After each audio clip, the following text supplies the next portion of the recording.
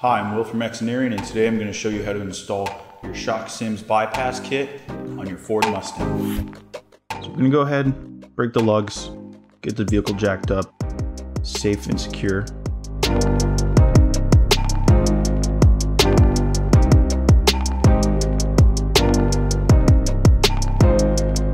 So we're starting with our ride height simulators here.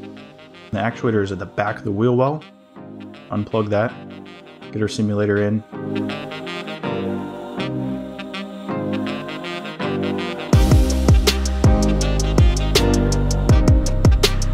And zip tied away from anything moving or hot. Do that with all the simulators that we're installing today.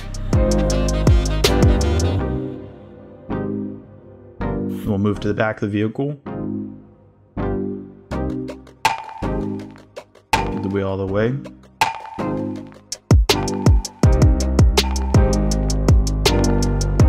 This location is a little tricky to get to, but pretty much at the base of the spring seat for the lower control arm, you're going to see an actuator arm and then the connector going into the actual sensor. So coming from the top of the wheel well, looking down inside, you can take your simulator, laying on your back, and unplug the vehicle harness from the sensor and plug our simulator in.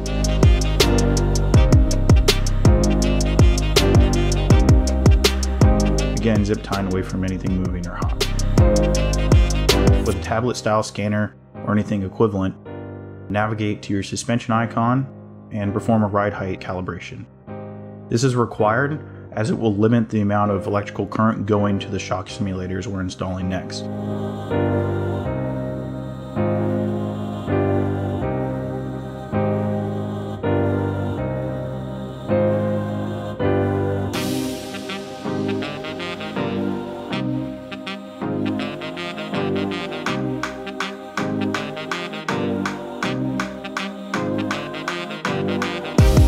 Make your way back to the front of the vehicle and install your shock simulator.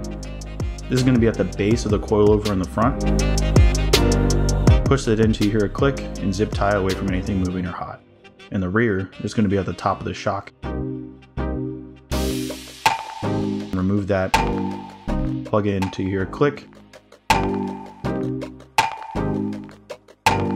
and zip tie away from anything moving or hot. And that's it. Follow us on Instagram at Xineering, and don't forget to subscribe. Feel free to leave a comment or shoot us an email at xineering at gmail.com. And thanks for watching. I'll see you in the next one.